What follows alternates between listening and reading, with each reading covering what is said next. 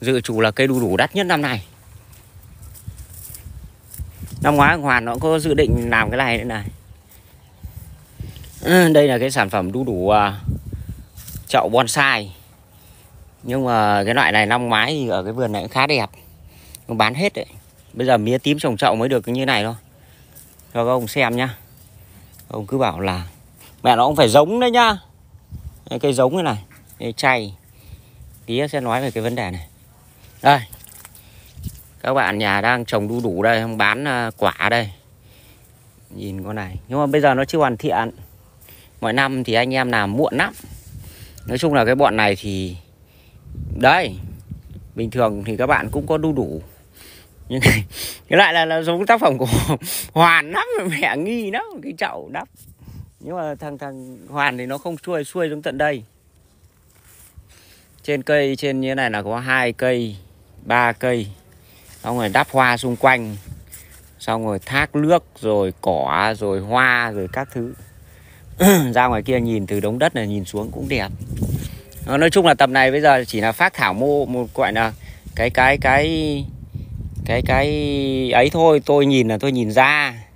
Như hoàn nó nhìn ra. Còn với người chơi thì nói chung là chả nhìn ra mẹ gì chứ không nhìn ra đâu mà. Nó chỉ là đống đổ lát xong rồi mẹ bao tải bao tiếc xong rồi các thứ. Đang trong giai đoạn đắp ấy. Còn à, mấy năm gần đây thì là là là làm sớm. Nhưng mà bình thường thì nếu mà ấy như này như cái năm đầu tiên ấy, thì đến tháng 12 12 đắp xong phát bán luôn. Còn đây là đắp trước. Đắp cái cái ấy trước. Còn bình thường làm ra một cái tác phẩm như thế này á. À, như ấy à, người ta cũng phải có đầu ra đấy, không phải là tự nhiên mà các bạn đắp như thế này là là là là bỏ công, bỏ kiếc ra ấy. còn những cái ông mà đắp như thế này là cũng toàn là ấy đây toàn tốt nghiệp đại học thạc sĩ các kiểu. Còn cái loại này thì cổ truyền. Loại này ở tôi thì ai chẳng làm. Báo ở đây không thiệt hại. Nói chung là như con cái thủy hôm qua là nó đổ mà mất, gãy mất mấy cây hoa hồng, nó bảo 100 triệu mấy thế nọ thế kia. Ờ, cái chuyện thiệt hại thì kệ cụ nó chứ nhắc làm đéo gì, đúng không? Cái điều không ai muốn ấy thì quá khứ nó đã qua rồi, đúng không? Hướng tới tương lai. Chứ còn mất tiền với các thứ thì nói thật ra cái chuyện đau buồn của của bản thân ấy, tôi bây giờ tôi có vẻ như ngày xưa đéo đâu. Chuyện đau buồn của bản thân kể ra thì có phải là ai người ta đau khổ vì mình xong rồi người ta cho tiền các ông xem thì chia buồn cùng ông, thế thôi. Nhưng trong đầu các ông đéo phải chia buồn xã giao thế lời nói không mất tiền mua lựa lời mà nói cho lòi tiền ra thôi chứ còn nhà tôi có bảo tôi mất trăm triệu hai trăm triệu hay tỷ bạc. Không biết là tôi có nói thật hay không. Còn chuyện đau buồn của mình thì nói chung là kể ra cũng đéo giải quyết được. Đúng không? Đây là cây nói thật ra là cây đu đủ ấy này. Thấy thấy thấy thấy bảo con thủy đéo hay biết. Tôi nói thật cái chuyện đau buồn xong rồi đi hôn rồi mất tiền mất tiếc cái, cái bệnh tật tôi, tôi, tôi, tôi chia sẻ với các ông trừ khi tôi đau buồn quá thôi. Chuyện nó đã xảy ra thì có chia sẻ cho các ông nói ra cho các ông cũng đéo giải quyết được. Đấy. Còn đây nói chung là sẽ quay từ từ cho mọi người. Đấy còn các bạn có thể áp dụng cái tư tưởng này vào cho cái cái cái cái giá trị sản phẩm của các bạn sức lao động của các bạn để có giá trị cao hơn. 8 tiếng một ngày và 200 nghìn thì bây giờ các bạn muốn 8 tiếng một ngày một ngày các bạn có 2 triệu thì phải làm khác đi nếu các bạn vẫn làm cách truyền thống thì các bạn chỉ nhận được cái kết quả truyền thống thôi. Còn ông, các ông, tôi cũng cảm ơn các ông có hỏi về tình hình mưa bão rồi có ảnh hưởng gì không. Tôi bảo ảnh hưởng thì nếu mà mất thì tôi kể cho các ông các ông bảo mẹ nói phép mấy cái thứ hai là kể cho các ông, đéo giải quyết cái gì? Nhiều ông thì cũng chia buồn với tôi thì đéo biết các ông có chia buồn thật hay không. Nói chung đéo giải quyết gì thật, chuyện nó đã xảy ra rồi.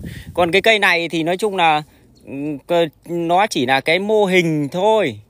Còn với bọn tôi thì tôi mới hình dung và tôi nói cho các bạn được.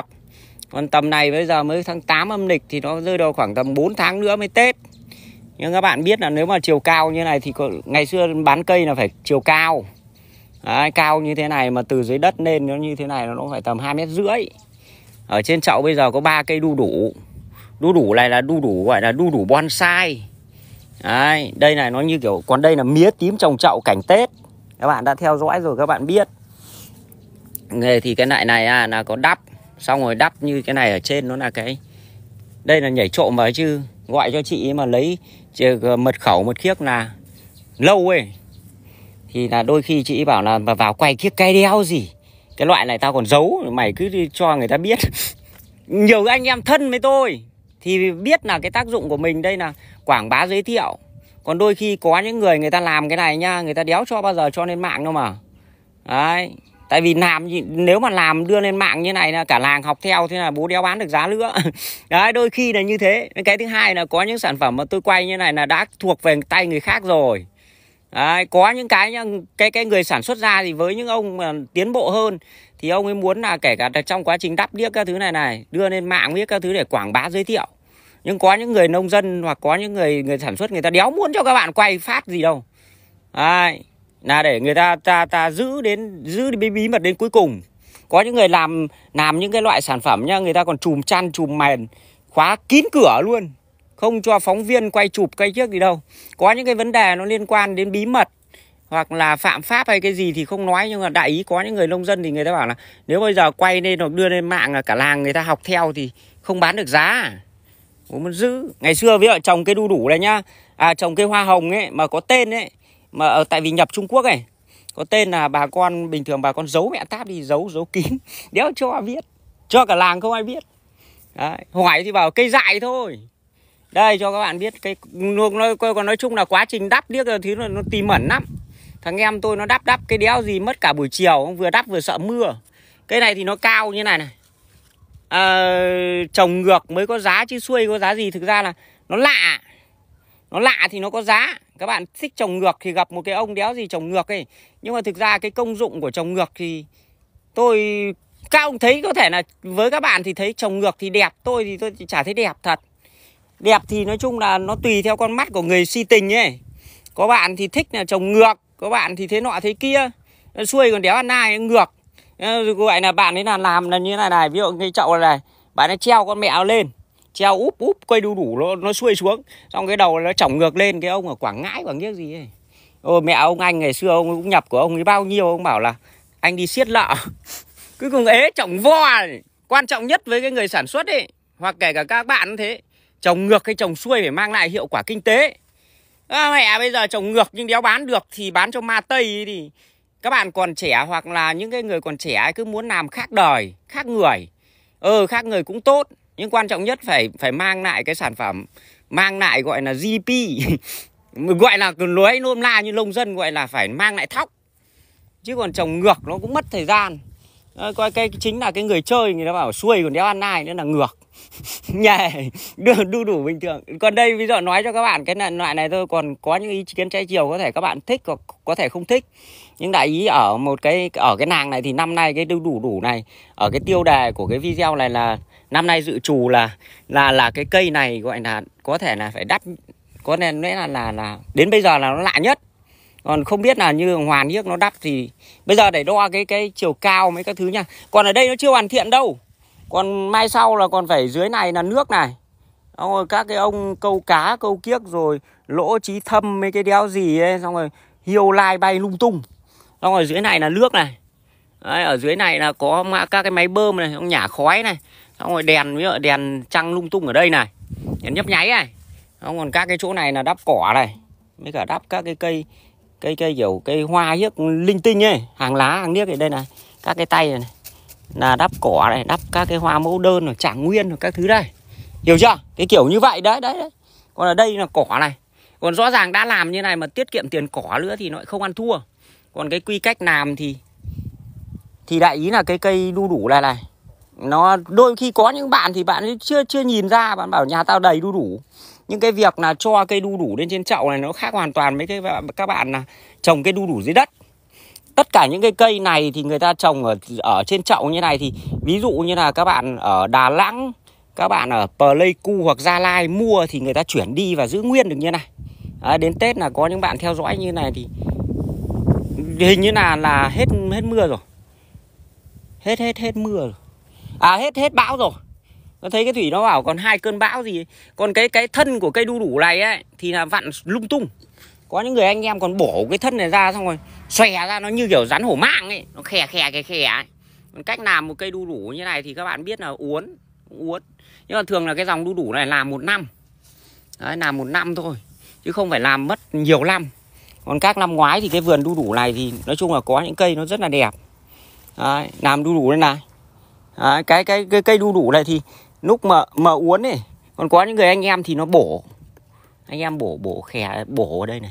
Còn nói chung là cái giống đu đủ này là cái giống cũng là siêu quả nhá. Chứ không phải đu đủ như các bạn đâu. Còn đắp như cái nghe này ở trên. Còn uh, nhìn từ view ở, ở. Cái loại này là mới đắp thô. Đéo có chỗ nào mà đứng cơ. Đấy. Tí chụp cái ảnh để đăng câu view cái. Bán giống thế nào? Thực ra là bán giống ở trên nông nghiệp chứ bây giờ ừ, tôi cũng chả đấy đu, đu, cái ngày xưa anh em có bảo là cái cái đu đủ muốn mua đu đủ đực để làm cái đéo gì ấy giống có mấy nghìn ấy hai nghìn với mấy nghìn ở trên nông nghiệp ấy. Cây nó bé tí ấy, chứ không phải cây giống như thế này đâu. Cây ở trong cái bầu nó bé tí nó bằng năm đấm này này có mấy nghìn thôi. Nó chắc tràn chắn phết nhá. Đây đu đủ uốn lung tung đây. Đấy. Đấy, tôi bây giờ đi nhặt cái cây bán giống không rồi toàn các ông đặt hai cây vị trí là 5 nghìn. Bo cho anh nghìn nữa là thành 5 nghìn thì nó mệt. Mẹ bán thành 5 nghìn một cây thì anh em bảo là mẹ mấy thằng cò à? bán giống nó rẻ lắm. Đấy bán giống mấy nghìn mấy nghìn. Thằng em tuyên tôi nó thích những cái siêu thị mà 15 nghìn đồng giá chứ còn. Mình bây giờ những cây tiền triệu mình còn đeo ấy quay cho các bạn để biết thôi. Đấy, còn các các cái loại này nói chung là phải đến tháng 11 khi nào hoàn thiện xong thì tôi, có lẽ tôi sẽ livestream cho các bạn nếu có thời gian. Chay đây. Đất ở đây thấy bảo trên Bắc Giang, còn cái dòng này dòng thẳng tưng này. Năm nay nào hàng thẳng tưng. Lại còn không có gì khác thường. Mẹ ngay đu đủ trồng chậu bán Tết này, nó đã là khác thường rồi. Còn có thể các bạn biết, có thể các bạn không biết. Thì quay cho người không biết thôi chứ còn với các bạn thì cái đéo gì chả biết. Nhà yeah. đây giờ giống nhưng mà cái loại này là đã to rồi đã thay thang bịch rồi. Đấy phải ấy giống. Đu đủ lại một năm. Nó năm là ấy được. Nói chung là bây giờ thì nó cũng chưa có cái gì. Đấy, chỉ nói cho các bạn là đây có, có quả với các thứ. Nhưng mà đến tết nhá. Bị bảo bị bão xô đổ xô đổ đéo đâu? Vẫn như ngay ngắn hàng lối như này. Đến tết nhá cây này nó sẽ to. Các bạn biết là một chùm quả mà nó đến đây này. Các bạn nào có thể tìm ra đu đủ cảnh tết ở trên uh, youtube đi các bạn xem. Quả nó bẹt bẹt bẹt bẹt. Đúng tận đây này. Quả to. Nó cái thân nó to. Đấy, những cái, cái, các cái thể loại cột chống nhà này. Còn đến bây giờ thì các bạn nhìn không ra được gì. Nhưng có những bạn thì theo dõi từ năm ngoái năm kia thì các bạn bảo là là muốn muốn cho xem từ cái giai đoạn làm ấy thì đây nó cũng là cái bước bước bước cũng rất là lâu rồi. Cho ăn thì đây cả cả cả đây là cái vụn sừng trâu này. Đấy đến khi thành phẩm nhá là cây nó to. Đấy, quả nó bết dọc theo cái này này. Đấy, còn cái sản phẩm này nó khác so với cái đu đủ bình thường. Là cái loại này thì là vận chuyển được. Chứ còn cây đu đủ nhà các bạn thì có to bằng mấy. Nhưng mà ví dụ như các bạn ở thành phố Hồ Chí Minh mua thì các bạn bán cho người ta thì dụng mẹ con mẹ nó hết quả cái sản phẩm mà làm trên chậu này này. Đấy, tất cả các cây làm trên chậu này thì không phải ai cũng làm được đâu. Các cái ông ở cái vùng chuyên đu đủ hoặc chuyên bưởi anh anh gì đây? Giám đốc hợp tác xã. Hầu như như thế này anh ấy đứng đầu một xã. Kỹ thuật thì chắc là cũng không đứng đầu đâu nhưng mà kỹ tức là anh ấy cũng có tí chút võ nghệ ở cái nàng bưởi bưởi đỏ. Anh ấy cho lên chậu nhưng mà không không ra được. Tại vì cái ngành cho lên chậu này nó là lại ngành khác so với các bạn là trồng đu đủ mà bán quả. Đấy. còn có các bạn là, là bán đu đủ là bán hoa ấy thì nó lại là một ngành khác. Còn đây là một cây đu đủ mà cho lên chậu để bán bán bán tết thường là bán tết. Thì các bạn biết là cái yêu cầu của cái cây cảnh để bán tết thì nó phải đẹp từ lá này. Cái lá này này nó phải xanh. Đấy và nó đầy tán như này này. Cho nên khi vận chuyển đu đủ này tết nhá mà các bạn biết là nó chỉ gần như này thôi là là, là trừ điểm này à, bọc vận chuyển thế nào? Tại vì cây cây cảnh tết ấy ui rồi lúc ấy bọc cầu kỳ lắm. Xong quả nó rụng là đã toài rồi. Chứ không phải là mẹ tao gửi cho mày cây đu đủ 20 quả nhá. Xong rồi quả nó lại ở mẹ ở miệng chậu. Quả người ta yêu cầu là phải dọc cái này này. Đấy, dọc thân. Đấy, còn một cây cảnh đẹp thì nói chung là cái lá nó phải mỡ nó xanh. Và nhìn từ xa thì phải biết là cái cái cái quả nó nhiều và cái sai của nó ấy nó đồng đều. Xong rồi nó bám dọc theo cái thân này, này.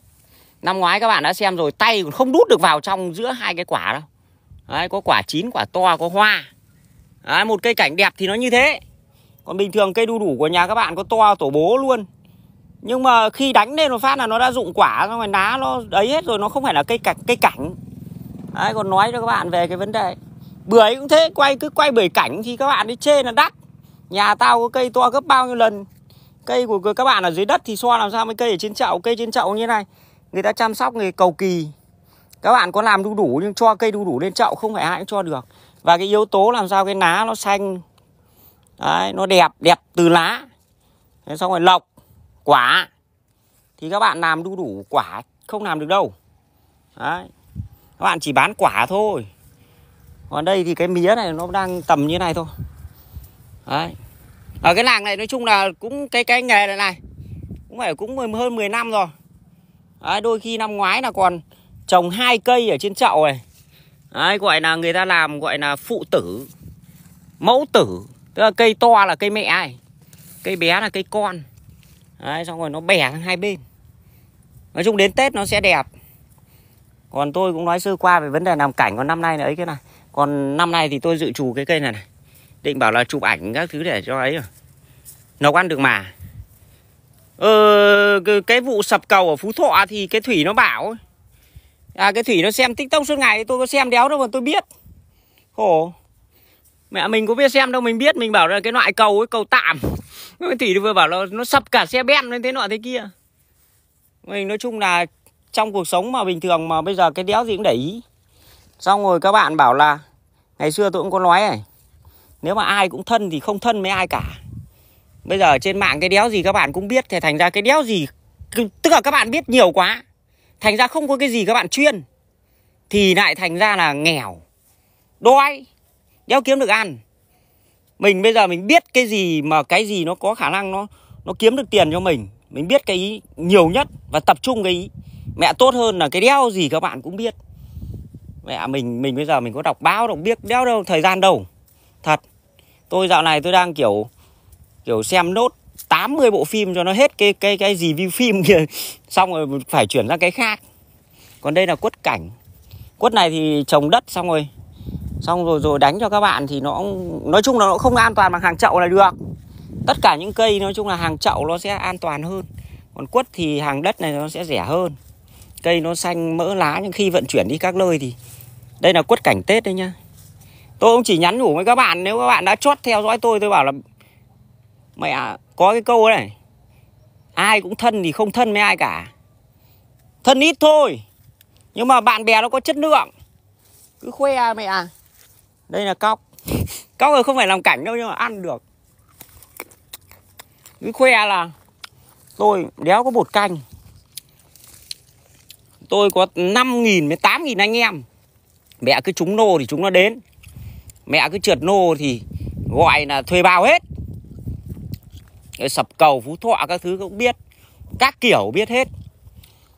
Những cái việc chính của mình có khả năng để kiếm ra tiền, nuôi sống bản thân, gia đình và xã hội thì đéo làm tốt. Thu nhập thì cứ năm bảy triệu, nhưng cái đeo thì biết rồi, nó đồ ở phương nào phương nào. Nó đi vệ sinh hay đeo cái đồng hồ bao nhiêu cũng biết. Đúng không?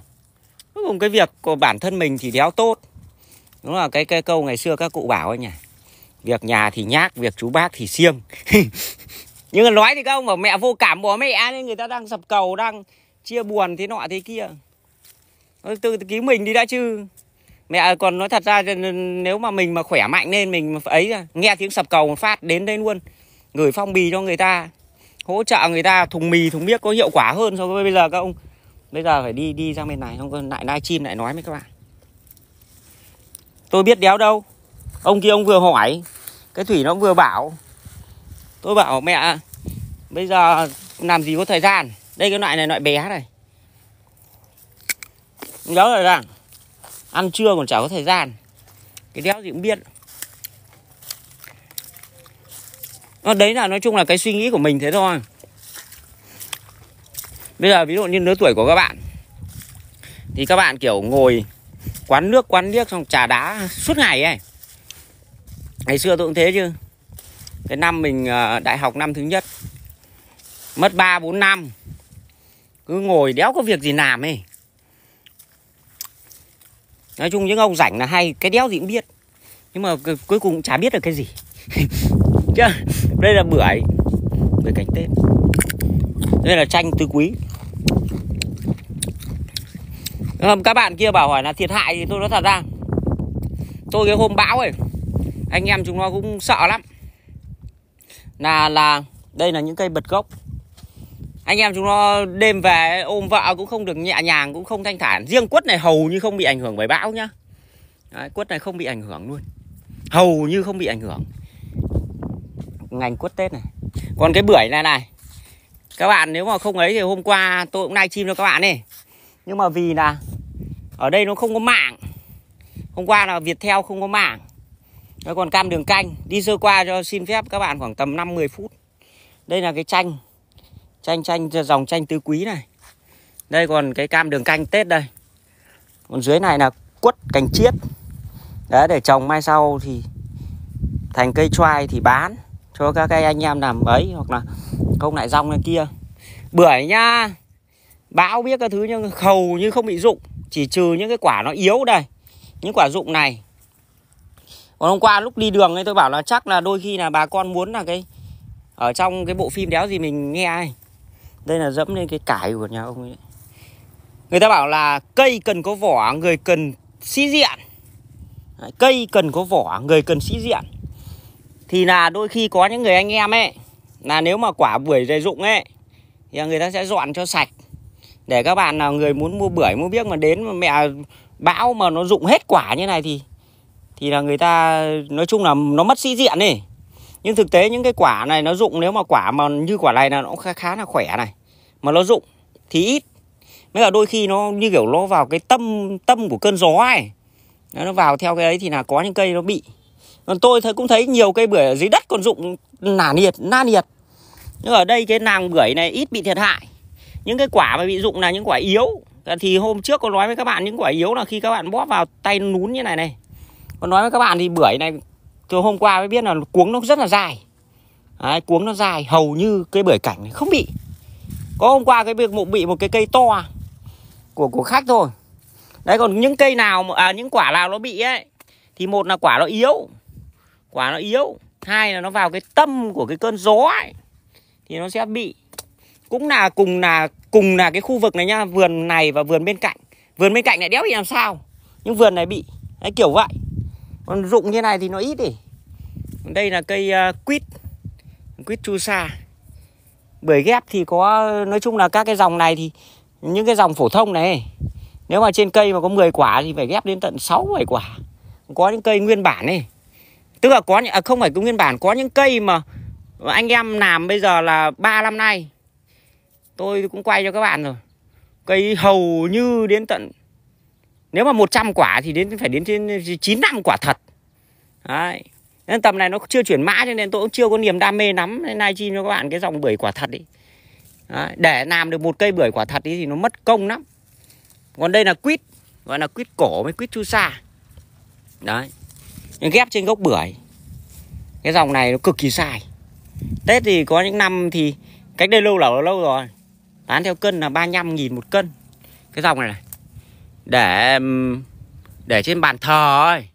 Đây, cái dòng này, dòng quýt cổ, quýt chu sa. Ừ. bây giờ thì thực ra là tôi hôm trước có bảo mấy các bạn là bây giờ thì thực ra thì là chủ yếu là tết xuất Đấy. còn cái người giàu ấy thì người ta khi đéo làm người ta chẳng là tết. Có phải cứ ngày 30 tết mới là tết đâu bây giờ người ta ký được một cái hợp đồng, người ta kiếm tiền tỷ, người ta mới xây nhà thì lúc ấy của người ta là tết. Còn tết mà mẹ chạy no lương nhân viên thì lúc ấy nó như kiểu địa ngục ấy, như, nhưng mà bình thường nó là cái đúng là lúc ấy mới là tết. Nhưng mà tôi bảo là bây giờ như các bạn cũng thế. Khi nào các bạn vui là tết. Còn tết mà lợ lần rồi còn chạy đôn chạy đáo, phải cắm ô tô để trả lương nhân viên thì lúc ấy mẹ nó là tết thật đấy, nhưng mà, đúng không? Nò đeo gì, cây cảnh, cây kiếc tết bình thường mua cây cảnh nhưng là năm nay làm ăn đéo ra gì. Vừa mới cắm cái ô tô để giả tiền lương nhân viên đây. Đấy, cho nên là còn đây là cam đường canh. Cam đường canh. Đây còn quýt đây này cái dòng này này. Dòng này là gọi là quýt cổ đấy quýt chu sa đấy. Các cái cây to như này là cây ghép bưởi. Sai. Đến tết nó chuyển mã vàng nhá. Chuyển mã vàng vàng hanh hanh hồng hồng ấy. Nói chung là cái dòng này rất sai. À, mẹ cái thằng kia nó cứ theo dõi xong nó bảo mình nói phét. Đéo hiểu kiểu gì? Này bảo tao nói phét ở đâu thì đến 3 năm nay mà chú cái bọn này nó mới là theo dõi tôi nó trường kỳ kháng chiến đéo hiểu kiểu gì? Mẹ chỉ khi nào mà mình đi tù nó mới hết theo dõi rồi. Nhỉ này mẹ kiếm tiền thì cũng lo kiếm tiền. Mẹ nói chung là ghép vào bưởi thì ừ, sống bình thường. Đấy, ghép này nó khỏe chứ nói chung là các bạn thường là nông dân sân thượng hoặc các bạn không hiểu gì về nông nghiệp. Đấy, nói như thế này đả động. Nhưng mà phải nói như thế thì các bạn mới nhớ. Là bình thường các bạn cứ bảo là ghép với nguyên bản nguyên bản tốt hơn. Nhưng thực ra ngay cái cây nguyên bản của các bạn cũng là cây cây ghép từ bé. Đấy, cây mà các bạn trồng chẳng qua là nó là ghép từ bé thôi. Còn cái cái cái căn bản của việc ghép này này là tại sao ghép trên gốc bưởi là bưởi nó là cái dòng khỏe nhất để làm gốc ghép? Đấy. còn cái cây đây là cành chiết của quất. Nói thẳng ra theo tôi đánh giá nhá cành chiết của quất này nó còn không tốt bằng cái việc ghép, các bạn ghép quất trên bưởi đâu. Nhưng mà ghép quất trên bưởi nó cực lắm. Nó phải ghép qua một lần quýt này này. Còn đây là cam đường canh. Đấy, để cho các bạn không biết. Còn cái việc này thì nói chung là cho cây cam này lên trên chậu để chơi tết này nó cũng không phải là ý mình là mình muốn mua vài trăm cây buôn tết thì phải mua trước là gần tết mới mua. Bây giờ nói chung là nếu mà mua ấy, thì cách làm việc, đấy, cách làm việc của của đôi khi là các nhà vườn người ta, ví dụ như nói chuyện thực tế, đây là không mua qua tôi, không mua qua cái thủy, mua qua cái thủy thì nó sẽ cho các bạn cái kế hoạch đàng hoàng. Vậy mua bây giờ cái cây của các bạn như thế, Xong rồi đến Tết nếu mà cây nó gặp gặp vấn đề về thiên tai với thế nọ thế kia thì các bạn mất cọc. Nó là điều mà không ai mong muốn. Chứ còn bây giờ các bạn mua cây nó như thế này nhưng đến Tết mà vàng thì các bạn không không cần lấy cây ý có thể đổi. Đấy, nhưng mà nếu mà bây giờ mà tự nhiên thiên tai thiên tiếc thì cả hai bên phải ngồi lại. Đấy là cái thời gian gửi quá lâu. Đấy, gửi quá lâu ấy. Ví dụ bây giờ các bạn mua sau khoảng 20 ngày sau các bạn lấy thì nó dễ. Mẹ mua đến tận ờ, từ cuối năm 4 tháng thì mới lấy thì nó nó nó hơi kiểu nó dài quá ấy. mà người ta có kiểu như kiểu là cưới vợ là phải cưới liền tay chớ để lâu ngày nắm kẻ dèm pha ấy mẹ bão lũ rồi thế nọ thế kia, xong rồi cái người người ta bán cho các bạn thì nó tham ấy. Mẹ đôi khi bán cho các bạn 200 xong rồi đến Tết nó gần đến Tết nó 500 một phát. Ơ, bảo cháu nhận ờ, cháu gửi cọc cho bác rồi cơ mà phải giữ cây cho cháu với thế nọ thế kia. Ơ, tao nhận của mày bao giờ? Đấy đấy, đúng không? Đấy, cho nên tìm được cái người uy tín để các bạn đặt niềm tin nó cũng cũng hơi ấy. Nói đến đây thì các bạn lại bảo, ấy, nhưng cái chuyện các bạn mua thì thường là, tôi chia sẻ với các bạn, nếu mà người ta buôn tết ấy thì thường là đến uh, giữa tháng 10 người ta đến đây người ta mua à người ta xem để xem toàn cảnh đã xem cái mặt hàng đã năm nay như thế nào đã. Xong rồi đến giữa tháng 11 người ta lại về người ta đặt tiền. Xong đến khoảng tầm ông công ông táo người ta lấy cây thì người ta đến đấy cùng với xe xong người ta bách cây đi kiểm tra xem có đúng cái loại cây mà mình đặt hay không.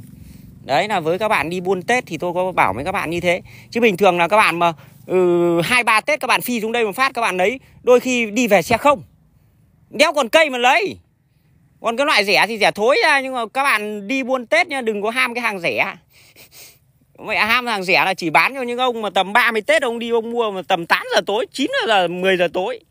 Các gia đình khác người ta mổ gà, người ta ông công à người ta thắp hương giao thừa rồi mới bắt đầu đi mua cây. Mà các ông ý là như ông anh tôi cứ bảo là tao mới là thằng khôn. Còn những bạn những cái bọn mua cây từ 20 với 23 là toàn thằng ngu hết. Lúc ấy tao đi mua cây rẻ lắm, rẻ lắm, tao mới là thằng khôn. Đấy còn nói cho các bạn thì cái cái mặt hàng Tết ấy các bạn phải xem xem là cái phân khúc các bạn như thế nào. Các bạn lựa chọn mặt hàng cái địa điểm của các bạn cái thu nhập nó nó đủ cao hay không để lựa chọn cái phân khúc tiền triệu tiền trăm. Nó mua cái bọn vàng ná sắp chết rồi để bán. Như kiểu chợ chợ thôn này chợ thôn thì người ta đôi khi người ta chỉ cần quất thôi nhưng mà cái tầm ý các bạn cứ tầm 30 Tết các bạn mang ra bán. Đừng bán ba, ngày 23 bán ngày 23 đéo ai mua đâu mà. Nó khổ.